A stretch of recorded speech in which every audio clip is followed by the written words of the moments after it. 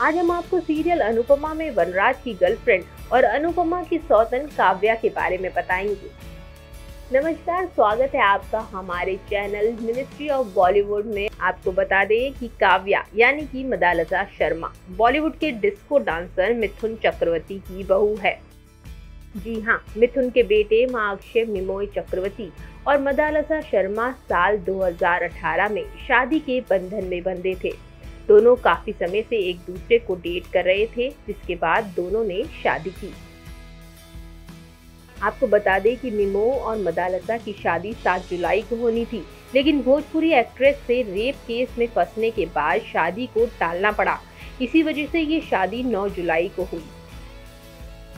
निमो पर एक भोजपुरी एक्ट्रेस ने आरोप लगाया था कि शादी का झांसा देकर उसे धोखा दिया गया और उसके साथ दुष्कर्म भी किया। भोजपुरी एक्ट्रेस से रेप का आरोप में फंसे मिमो दो दिन की बेल पर थे।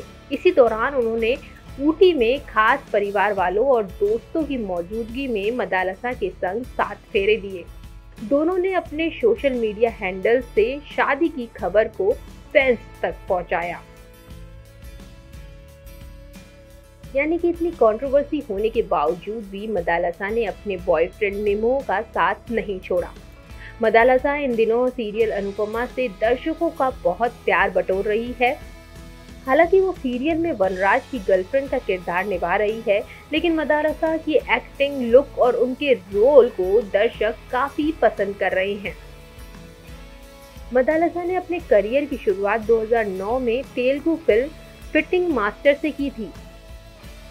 इसके बाद मदालसा बॉलीवुड फ़िल्म में भी नज़र आ चुकी है। हिंदी फ़िल्मों के साथ साथ मदालसा तेलुगु, कन्नड़, तमिल और पंजाबी फ़िल्मों में भी काम कर चुकी है। आपको ये जानकर भी ताजुब होगा कि मदालसा बॉलीवुड की एक्ट्रेस शीला शर्मा की बेटी है।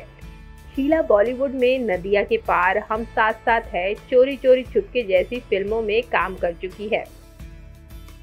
मदालसा की अपनी मॉम के साथ बहुत ही अच्छी बॉन्डिंग है और साथ ही अपने father in law Mithun Chakraborty के साथ भी मदालसा की बहुत अच्छी बॉन्डिंग है। मदालसा कई बार कह चुके हैं कि उनके फादर इन लॉ बहुत अच्छे हैं और उन्हें काफ़ी सपोर्ट करते हैं। आपको हमारी ये जानकारी कैसी लगी?